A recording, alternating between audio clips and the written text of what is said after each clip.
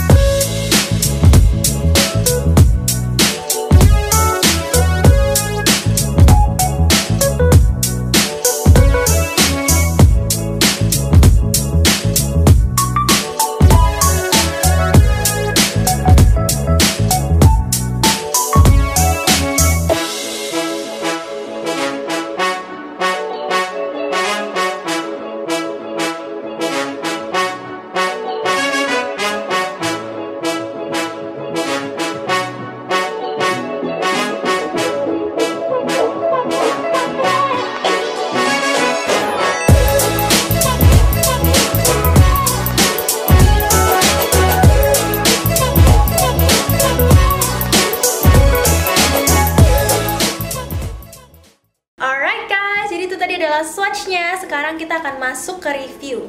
Seperti biasa, aku akan mulai dari packaging terlebih dahulu. Jadi ini untuk packagingnya, dia tuh warnanya biru dongker. Terus juga segala macam info mengenai produk itu lengkap banget di kotaknya. Dari nama shade, nama produk, cara pakai dan komposisi, terus pun juga kegunaan produk dan expired date-nya itu semuanya tuh ada di kotak ini lengkap. Lalu untuk packaging produknya sendiri menurut aku ini cukup unik. Kenapa? Karena di tube-nya itu bentuknya itu ada kayak butiran-butiran air netes gitu loh. Jadi itu unik banget. Terus juga nih di dalam produknya terdapat hydrating nano hyaluronic acid dan juga ada vitamin E dan juga avocado oil. Makanya ini tuh bener-bener hydrating banget di bibir. Selama tadi aku nge-swatch ya itu bener-bener bibir aku nggak berasa kering sama sekali, malah berasa lebih ke plump, lebih ke moisturize.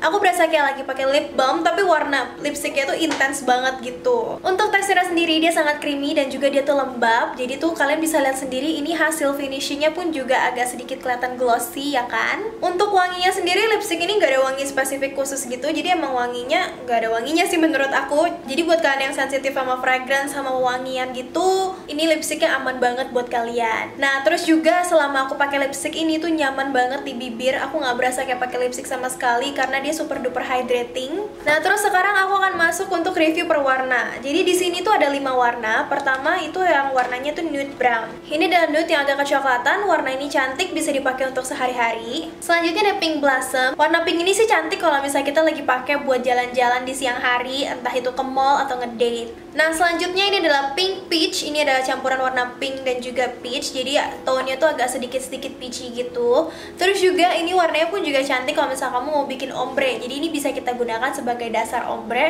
itu ditambahin merah. Be ini kombonya pasti bakal bagus banget. Selanjutnya kita ada red plum. Ini warna red plum ini tuh warnanya bukan yang merah mentereng mencolok seperti warna merah ya. Menurut aku sih ini warnanya lebih ke kayak my lips but better gitu. Soalnya itu bikin bibir tuh kelihatan lebih sehat gitu loh karena warnanya tuh mirip banget dengan warna bibir. Nah dan terakhir ini adalah yang warnanya red velvet. Ini red velvet itu warna merah dan merahnya itu agak kebiruan. Jadi kalau misalnya untuk warna-warna merah seperti ini kalau misalnya kita senyum dia bikin gigi kita kelihatan lebih putih. Oke selanjutnya aku akan tes transfer proof. Pertama aku pakai tisu basah ini masih ada stainnya beberapa. Dan kedua setelah aku menggunakan micellar water ini micellar waternya udah ngangkat lipsticknya dan dia juga masih ada sisa stainnya sedikit. Dan sekarang aku bakal tes transfer di tangan dan hasilnya dia transfer. Jangan kaget kalau misalnya lipstick ini tuh transfer karena wajar aja lipstick ini transfer karena di dalam produk ini itu ada natural moisturizer yang fungsinya itu untuk melembabkan bibir. Berarti ini sekarang aku bakal tes minum ya. Ini di gelas.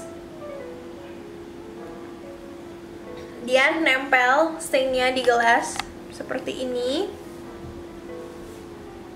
Oke, sekarang kita tes makan. Mari kita lihat ya, ini lipsticknya tuh bertahan sampai semana.